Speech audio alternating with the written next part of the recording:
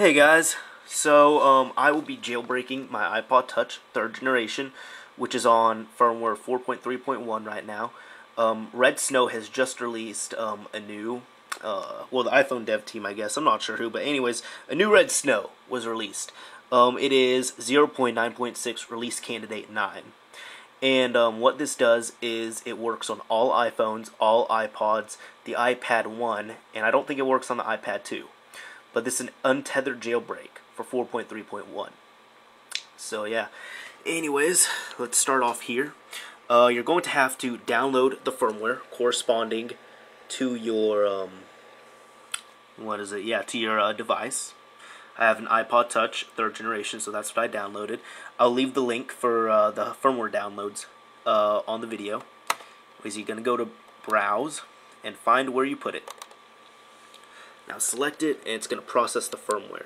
This might take about a minute or two. Um, hopefully mine should be fast just because I was loading it before.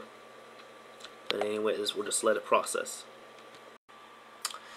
Anyways, now um, our IPSW has successfully been identified, which is just the firmware. So yeah, anyways, we can hit next, and it is going to prepare the data for us. This shouldn't take too long.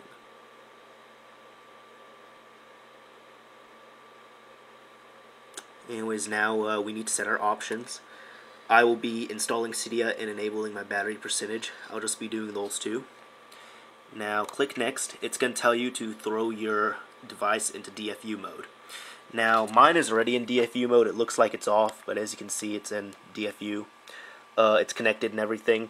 I will post a link up uh, to someone else who knows how to put in DFU mode. I know how to. Thing is, I don't want to make a video just because it's really annoying and I hate putting it in DFU mode. So yeah. Anyways, once it's in there, go ahead hit next, and mine automatically goes on.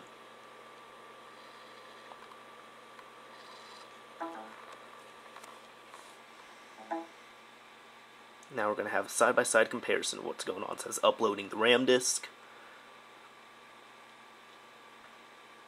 And generally, um, if you get to that stage, oh, it starts going crazy right there.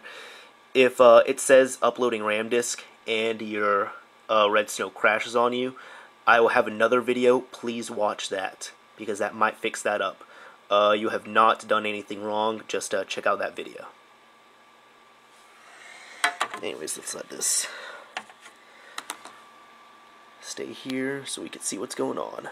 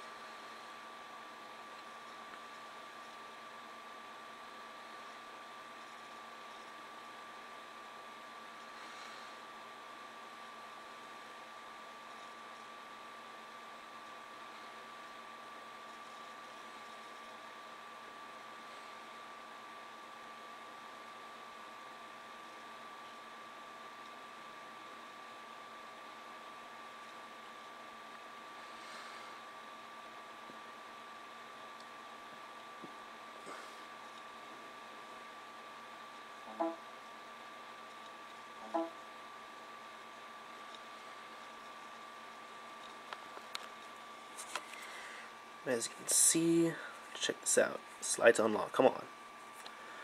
Go over here, and we should have Cydia.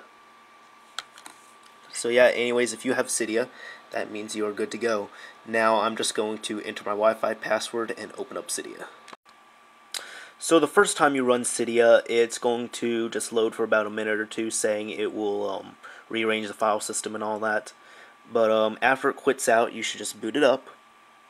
And um, when you first open up, this is my second time opening it up after that, but the first time you can choose if you're a hacker, developer, or a user.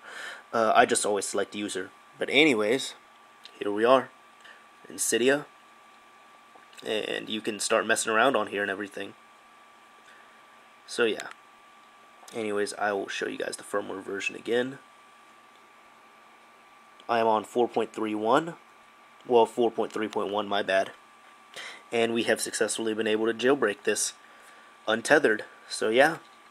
Anyways, that's it. If you have any questions, just leave a comment or anything. And yeah, that should be it. Anyways, thanks for watching.